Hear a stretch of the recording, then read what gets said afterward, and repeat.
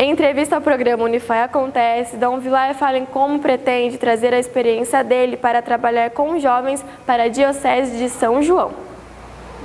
Eu, inclusive, é, perguntei se mudando de Mato Grosso, sendo referencial lá, se eu iria deixar essa comissão nacional.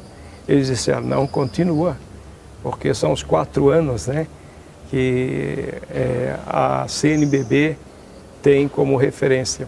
E aqui também, como fiz lá em, em, na Diocese de São Luís de Cáceres, no Mato Grosso, a gente tem que priorizar a juventude, tem que priorizar esse projeto de vida que o jovem tem, né, em relação à sua vida, sobretudo dentro da igreja.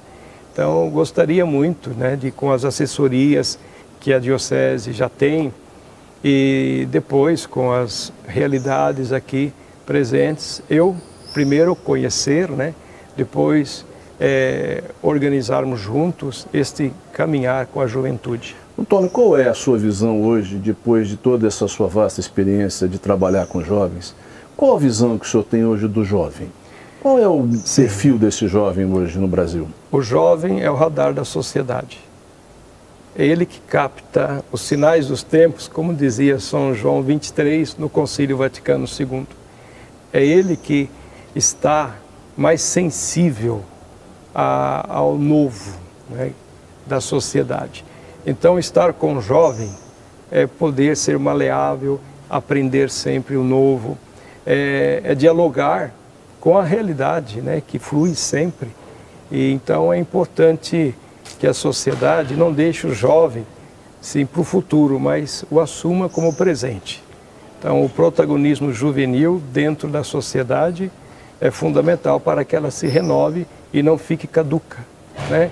É, apegada a ideologias, porque o jovem ele pode ser presa fácil, refém até é, das ideologias, mas ele tem espírito crítico. Eu trabalhando na formação percebia que refletindo com jovens, colocando as bases até de um plano anual, o que nós queremos como metas, tal, eu percebia que eles eram muito radicais, muito mais radicais do que eu. Então, nisso a gente sempre se refaz, se renova, não é? E sabendo também colocar limites. O jovem quer segurança. Ele não quer ir na onda, na moda simplesmente. Ele quer limites. E sente a segurança naquele que representa um testemunho, uma autenticidade, uma coerência de vida. Enquanto que ele se desilude facilmente daqueles que têm belos discursos, mas que na prática não convencem.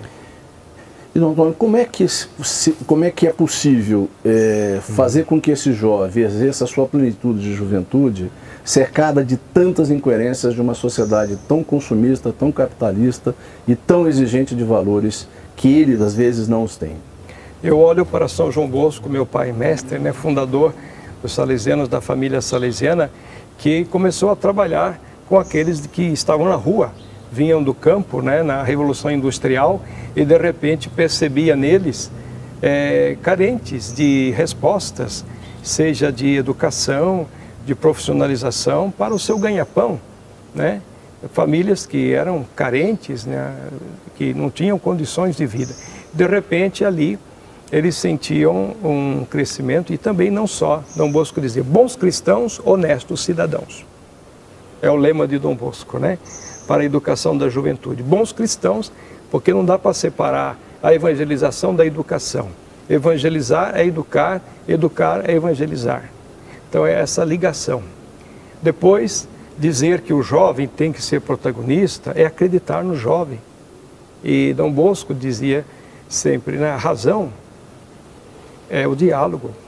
Você não vai querer ensinar para uma criança já o que o adulto sabe, mas o, o porquê da criança, por que isso? Tem uma medida certa. Você responde ao porquê da criança. No dia seguinte ela pode perguntar algo mais, ou né?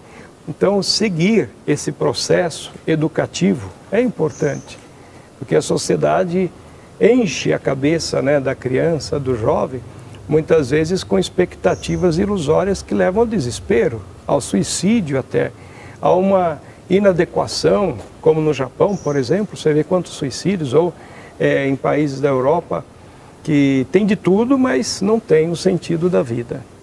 Não tem essa gradualidade né, de acompanhar a realidade do adolescente e do jovem.